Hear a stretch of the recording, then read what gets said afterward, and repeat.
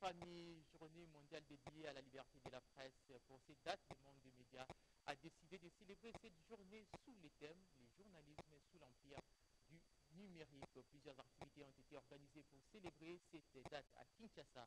Pour cette journée en République démocratique du Congo, les acteurs des médias sont invités réfléchir sur comment adapter les médias pour faire face à la révolution numérique afin de réinventer et de... Une nouvelle avenir pour la presse en République démocratique du Congo. Un seul titre à suivre dans ce journal depuis, depuis, depuis ce lundi 2 mai 2022 de la campagne pour les élections de gouverneurs et vice-gouverneurs de province. Bien avant, le rapporteur adjoint de la CENI était au Congo central pour rappeler à toutes les parties concernées par le calendrier électoral publié par la centrale électorale les codes de bonne conduite y afférents. 13h30, un nouveau journal sur la télévision nationale congolaise. Bienvenue à tous. Table ronde intercommunautaire sur le bien vivre dans le Haut-Katanga. Pour une fois, les Congolais se sont réunis autour d'une table pour parler entre frères et sœurs pour préserver la fraternité, le vivre ensemble, veiller à la sécurité nationale, la paix et la prospérité. Après huit jours des intenses travaux, le chef de l'État était devant les neuf gouverneurs de province, Félix Antoine Tshisekedi, de plaider pour l'humanisme et la cohabitation pacifique entre les deux espaces. Pierre Kibambe Somouissa pour les reportages. La conférence interprovinciale Grand Katanga Grand Kassai sur la cohabitation pacifique entre les deux communautés a vécu à Lubumbashi dans le Haut-Katanga. L'heure est à la restitution des travaux de cette importante table ronde.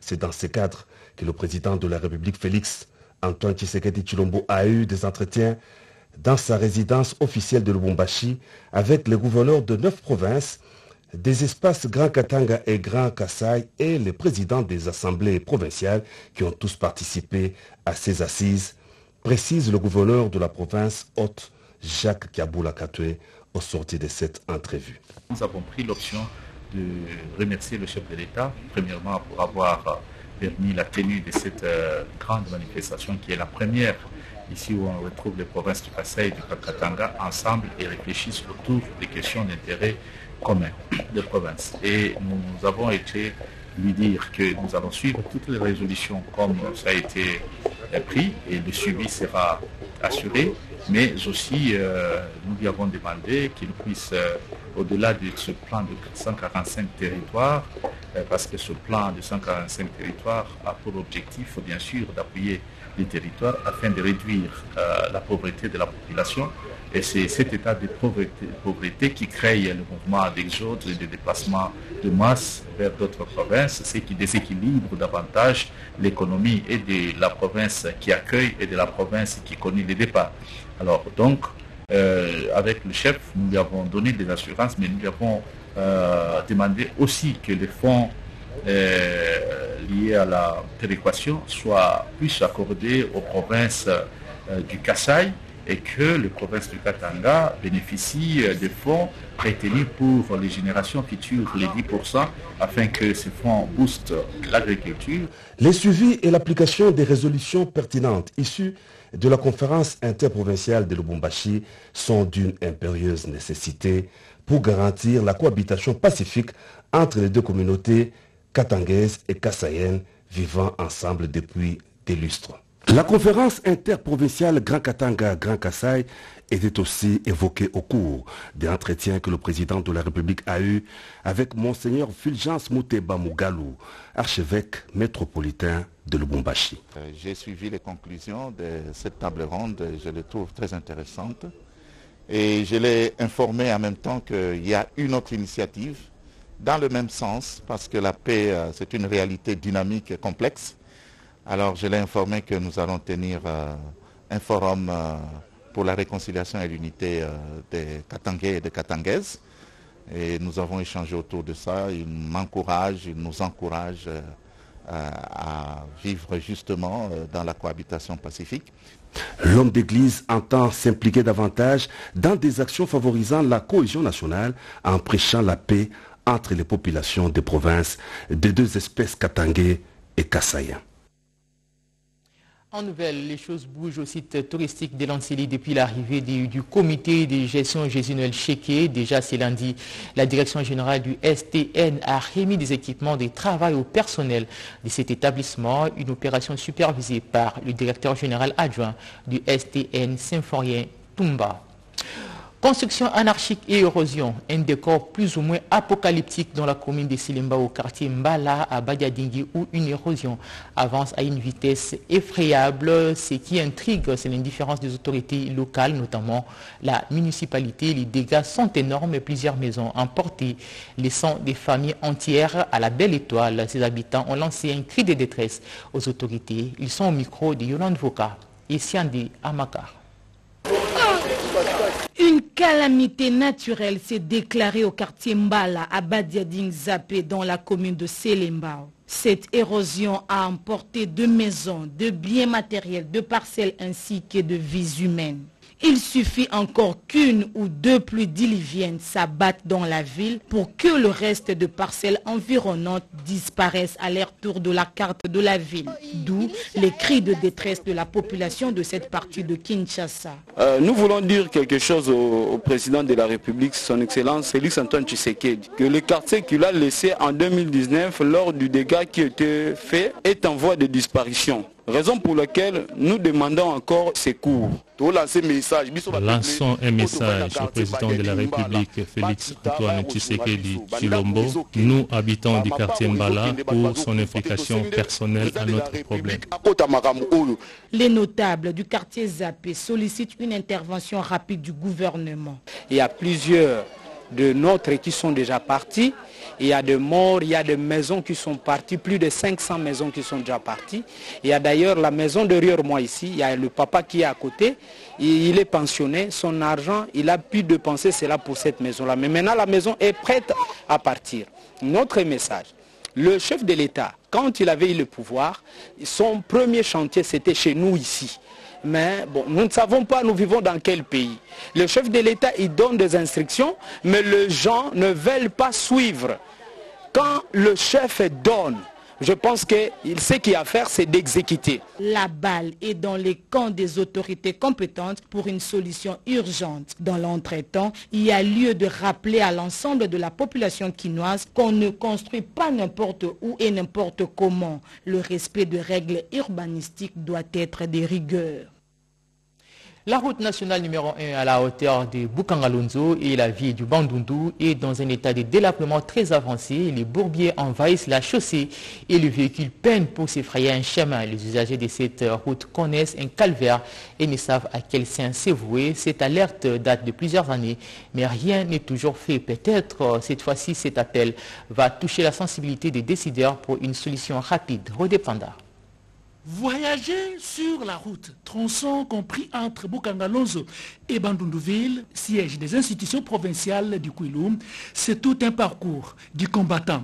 Il faut transpirer de la sueur à 1000 degrés pour trouver une issue et se libérer. Trois, quatre jours, voire une semaine. Tous ces véhicules embourbés et bloqués à cet endroit, ce sont les passagers qui en payent les frais et ne savent à quel sens se vouer. Nous sommes sur la route de Bandundouville, au niveau du secteur de Machango Mouchet. Cette route va jusqu'à Bandundouville, Inongo, Maïndombe, jusqu'à l'équateur, en Bandaka. Les députés, qu'est-ce que vous faites pour nous, la population? pour contourner les obstacles, l'ingéniosité des conducteurs congolais est sollicitée.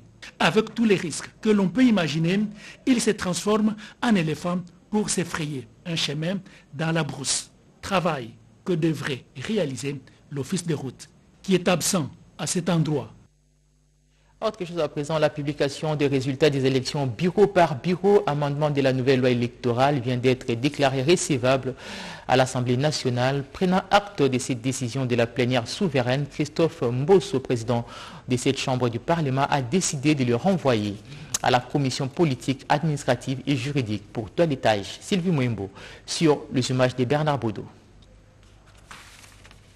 Plénière essentiellement consacrée à la recevabilité du projet de loi portant révision de la loi électorale en RDC. Sous la conduite du président de l'Assemblée nationale, Christophe Mbosoko Diapwanga, les co-auteurs de la loi portant révision numéro 1 003 du 25 juin 2011 portant organisation des élections présidentielles, législatives, provinciales, urbaines, municipales et locales ont rencontré les préoccupations de leurs collègues qui étaient revenus dans leur majorité sur la question de la suppléance familiale, la discrimination positive en faveur des candidatures féminines, le mode de scrutin et la suppression du seuil électoral. Délice Sanga, Claudel Loubaya, Juvenal Mounobo et Jacques Joly sont revenus dans le moindre détail sur la pertinence des modifications intervenues. Sans fondement juridique, les regroupements politiques sont à bannir dans la compétition électorale. Et pour la suppléance des familles, la question des confiances primant sur toute autre considération, le candidat reste libre de choix de ses suppléants. La proposition de loi numéro 1-003 du 25 juin 2011 portant organisation des élections présidentielles, législatives et provinciales, urbaines, municipales et locales en République démocratique du Congo a été jugée recevable et confiée à la commission politique, administrative et juridique pour toilettage. Le speaker de la Chambre basse du Parlement a promis d'organiser des séances spéciales de débat entre la majorité et l'opposition sur cette loi électorale. C'est aussi l'occasion de rappeler aux honorables députés et aux collègues de l'opposition que le moment est venu d'identifier dans cette proposition de loi les dispositions pertinentes qui requièrent un consensus. C'est ici. Nous allons alors organiser les discussions entre majorité et opposition. C'est ici l'occasion. Il n'est plus question de débattre de cette loi dans la rue. Le consensus, c'est ici au sein de l'Assemblée nationale. Une mention spéciale a été faite à titre posthume à feu Henri Thomas Lokondo pour sa contribution à cette révision de la loi électorale. Processus électoral, on en parle dans ces journaux. Le président de la Commission électorale nationale indépendante tient à offrir aux Congolais des échéances électorales apaisées, crédibles et surtout transparentes. Ainsi, il suit de près la procédure qui amène vers l'organisation de ces élections. Denis Kadima a fait les déplacements du sud Ubangi pour superviser les opérations d'actualisation de la cartographie opérationnelle. Tétis Samba pour les reportages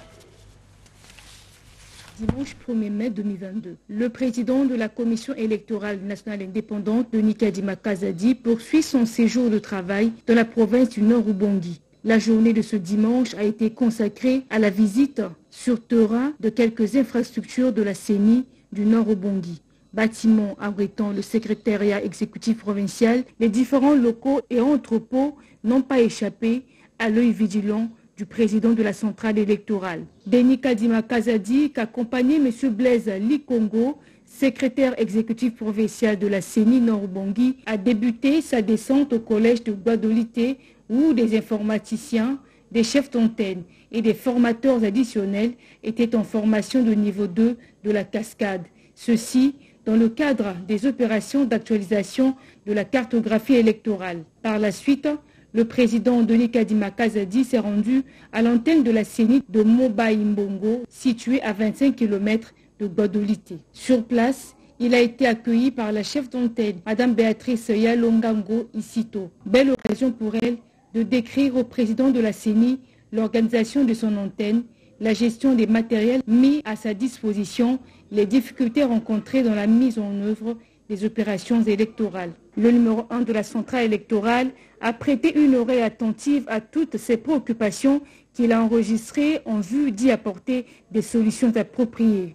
À la fin de cette visite, le secrétaire exécutif provincial du Nord-Obangui a souligné l'impact de la visite du président de la CENI dans sa province. Pour rappel, Denis Kadima Kazadi revenait d'une mission similaire de la province du Sud Kivu. Sa visite dans cette partie du pays sera ponctuée par de nombreux contacts utiles. À présent, la République démocratique du Congo et la Zambie unissent leurs efforts pour accroître la chaîne de valeur de batteries électriques, d'où cet accord entre les deux pays pour la production des batteries électriques. La ministre des Mines revient sur les détails de cet accord. Le secteur minier étant impliqué dans le projet de l'accord de coopération entre la République démocratique du Congo et la Zambie pour la mise en œuvre d'une chaîne de valeur des batteries électriques et des énergies renouvelables, la ministre sectorielle Antoinette Samba Kalambay était dans la suite du chef de l'État. Nous sommes allés euh, en Zambie avec le chef de l'État pour euh, que les deux homologues puissent signer un accord bilatéral toujours par rapport à la fabrication des batteries électriques. Et, les accords ont été signés. Vous savez, en ce jour, la République démocratique du Congo est appelée pays solution à cause de la transition énergétique. Tous les métaux qui entrent dans la fabrication de batteries électriques, la RDC est, producteur de, de tous ces métaux-là. Et le ministère des Mines est vraiment un acteur essentiel parce que le minerai donc, de l'exploitation à la production, à la transformation même, c'est le ministère des Mines. Voilà pourquoi nous nous sommes déplacés pour aller euh, accompagner les chefs de l'État dans la signature de cet accord. Il convient de signaler que les deux pays se sont mis d'accord sur la mise en place d'un cadre de gouvernance incluant les deux pays intitulés Conseil de la batterie de la RDC et de la Zambie. Un reportage signé Marthe Mangaza. Lancement officiel du processus d'élaboration de la cartographie des personnes vivant avec handicap. L'objectif est de contribuer à la promotion des droits et à l'autonomisation de cette catégorie de personnes. Les détails avec Emmanuel Commissaire et Fiston Wavingana. Les personnes vivant avec handicap qui écument les rues de Kinshasa, mondant et mendiant, on les verra peut-être plus. Une étude pilote menée par un consultant du ministère des Affaires sociales dans l'objectif de contribuer à la promotion de droits et à l'autonomisation de cette catégorie de personnes révèle des stratégies et mécanismes de lutte contre ces phénomènes devenus récurrents. Parmi ces recommandations figure l'élaboration d'une cartographie de personnes vivant avec handicap en République démocratique du Congo, la possibilité de créer un secrétariat général autonome à la promotion et protection des personnes vivant avec handicap. Le vice-premier ministre, ministre des Affaires étrangères, a lancé cette activité. je lance les activités de réalisation de la cartographie du handicap en RDC. Fin de citation.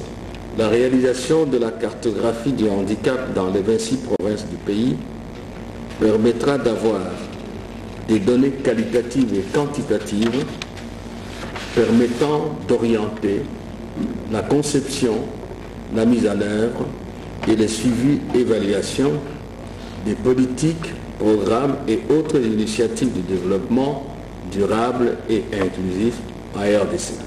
La ministre déléguée aux Affaires sociales, Irène Sambo, est revenue sur l'importance des livrables présentés et de cette étude. Le programme du gouvernement issu des consultations nationales initiées par le président de la République en 2020 met un accent particulier sur l'intégration des personnes avec handicap dans son pilier 13 relatif à la lutte contre la pauvreté et les inégalités dans notre pays. Cette application va permettre au ministère d'avoir une base de données fiable et claire. Les des affaires en République démocratique du Congo, les pays de Lumumba saisissent cette journée pour sensibiliser ses partenaires sur les climats des affaires. Une journée organisée par les ministères de la Justice et Garde des Sceaux. Anna Dumbo pour les détails. Une journée de sensibilisation d'information des parlementaires, députés et sénateurs sur la proposition des lois modifiant et complétant la loi numéro 002-2001 du 3 juillet 2001 portant création et fonctionnement des tribunaux de commerce en République démocratique du Congo, initiée par les députés Jean-Pierre Kayembe Ilunga, organisée par la cellule climat des affaires de la présidence en collaboration avec le ministère de la Justice, ainsi que les commissions PAJ et ECOFIN de l'Assemblée nationale, avec le concours du projet PAD-PME financé par la Banque mondiale.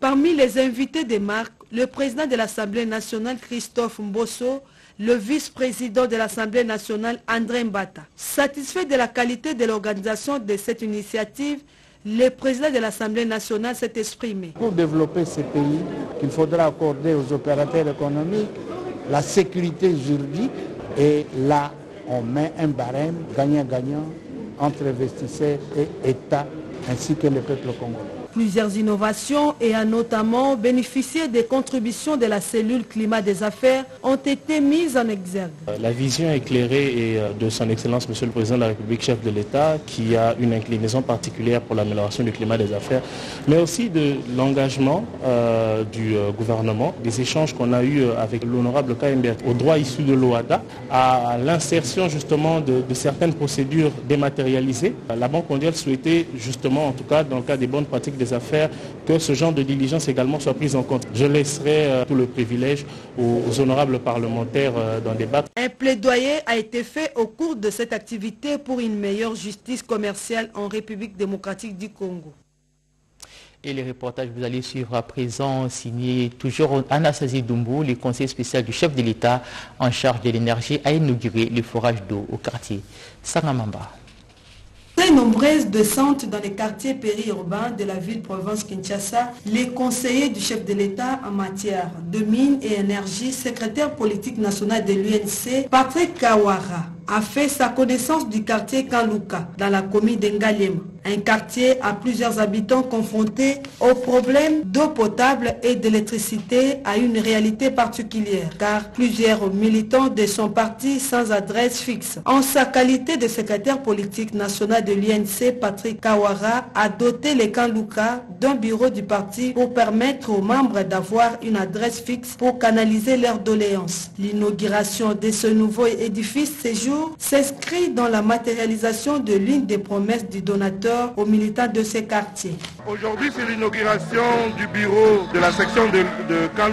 Ma politique, euh, elle est tournée sur euh, le développement à la base. Kanluka, c'est bien ma base. Nous avons beaucoup de projets à réaliser ici pour les jeunes, pour les femmes. Peu avant l'inauguration de ce nouveau bureau, le secrétaire politique national de l'UNC a exhorté les parents et jeunes de ces quartiers à élaborer des bons projets de développement pouvant créer de l'emploi à la jeunesse, afin de lui éviter de plonger, de plonger dans la délégance juvénile. Ce message a été aussi relayé par certains membres de l'UNC présents à cet événement en tant que conseiller du chef de l'État. Il a promis de s'impliquer dans la recherche de solutions aux problèmes d'eau potable et L'inauguration de ce nouvel édifice séjour s'inscrit dans la matérialisation de l'une des promesses du donateur aux militants de ces quartiers. Vous venez là de suivre une matinée politique de l'UNC au Kanluka. L'implication de la jeunesse au processus électoral en République démocratique du Congo, la Suède apporte son soutien à la RDC à travers la jeunesse qui compte tenu du rôle que cette dernière est tenue de jouer en divers degrés en tant qu'acteur. Images et commentaires. L'Union de jeunes congolais pour le changement a organisé un dîner d'échange entre les jeunes et les parlementaires autour des réformes électorales après le débat général sur la loi électorale et l'aperçu sur la note des plaidoyers devant tenir compte des désidératas de jeunes quant à leur implication au processus électoral en cours d'aménagement. À l'occasion de la journée internationale du travail avec la participation active du collectif de jeunes leaders engagés dans les questions électorales réunis au sein du projet Tufayoulou Pamoja. Entendez, récissons ensemble avec l'appui de l'ambassade de Suède à Kinshasa. Les CAFOD et la CGP ont réfléchi sur la participation de jeunes au processus électoral. Il convient de souligner que 80% de la population congolaise est constituée de jeunes, une véritable force motrice pour le développement de la RDC. Le gouvernement congolais est tenu à redynamiser les structures de jeunes à des emplois décents en vue de lutter contre les antivaleurs et la criminalité en République démocratique du Congo. Sensibilisation des femmes sur l'autonomisation socio-économique et inclusion financière, occasion pour le secrétaire général de la LED d'appeler cette force vive féminine à une participation massive aux séances électorales qui profilent à l'horizon. La promotion de l'autonomisation socio-économique et inclusive financière de la femme congolaise, motif de la sensibilisation du secrétaire général de la Ligue pour l'émergence et la démocratie, l'aide aux femmes du quartier Kémi dans la commune de Lemba. Au cours de cette matinée, Jean-Claude Chibango a invité ces femmes à cultiver un esprit de créativité et de l'entrepreneuriat pour ainsi s'épanouir économiquement. Selon le secrétaire général du Parti progressiste, l'entrepreneuriat permet à la femme autonome de booster d'autres femmes, ce qui, sans doute, doit résulter à une chaîne de femmes autonomes dans une communauté gage du développement. Mais nous, au niveau euh, de la LED, au niveau euh, des progressistes, nous estimons que bon, c'était, c'était pas seulement un seul mois qu'il faudra euh, dédier à la maman, comme l'a si bien précisé l'autorité morale, l'honorable Sami Badibanga, Premier ministre honoraire, il a dit qu'il faut plutôt dédier toute une année pour les mamans. Donc nous sommes dans l'année des mamans. Et avec cette thématique de l'autonomisation, et donc nous étions venus pour soutenir euh, les mamans euh, de Kémil, les mamans euh, de, de la LED, les mamans des progressistes, à l'effet de cette autonomisation. Une sensibilisation de la base. L'Union pour la démocratie et les progrès sociaux continue d'enregistrer de nouveaux membres au sein de cette structure au sud Kivu. Par exemple, ces nouveaux adhérents ont reçu leur carte des membres. C'est là dans le cadre d'une adhésion massive lancée dernièrement par le président de l'interfédéral.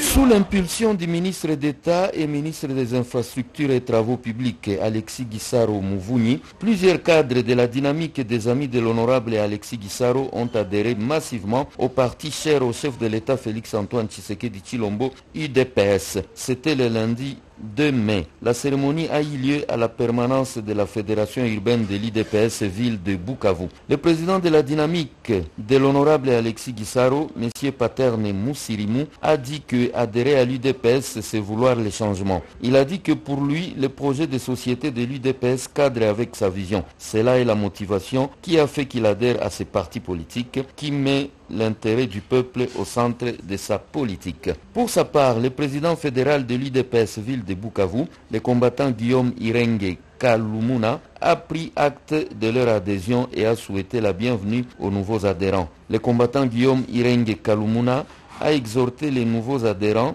de continuer à sensibiliser les autres afin d'adhérer à l'UDPS, et cela dans le but de remporter les élections de 2023 qui pointe à l'horizon. Le notable de Banyamulenge, M. Lévi Rukema, a appelé tous les membres de sa communauté à soutenir le chef de l'État en adhérant massivement à sa philosophie qui est le peuple d'abord. Plusieurs membres de la dynamique des amis de l'honorable Alexis Guissaro ont pris part à cette cérémonie. Une journée internationale en mémoire des massacres des travailleurs. L'Organisation des travailleurs unis du Congo a célébré cette journée avec le représentant de travailleurs des différentes entreprises de la place Chimendondo pour les détails. Le travailleur uni du Congo a procédé à la célébration de la Journée internationale du travail.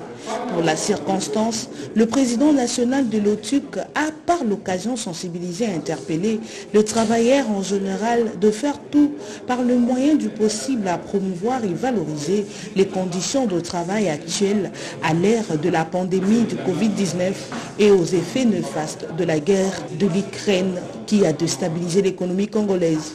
La fête du travailleur ou la fête du travail n'est pas seulement notre, c'est une fête internationale.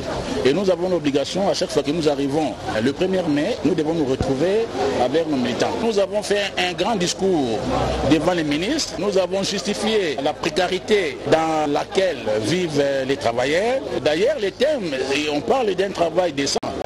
Disons qu'il faut une rémunération aussi décente. Hein, on ne peut pas parler d'un travail décent sans une rémunération décente. Donc vous comprenez, les travailleurs, ce qu'ils gagnent aujourd'hui, avec les conséquences de la guerre de l'Ukraine, beaucoup de pays s'occupent des travailleurs. Nous demandons au gouvernement qui nous gère, qu'il tienne compte des difficultés que nous traversons aujourd'hui. Il faut qu'il y ait des négociations avec les gouvernements pour que l'on puisse mettre les travailleurs dans des conditions en fait qui garantissent leur pouvoir d'achat. Les travailleurs réunis au sein du syndicat libéral ont commémoré cette journée sous le thème Un travail décent.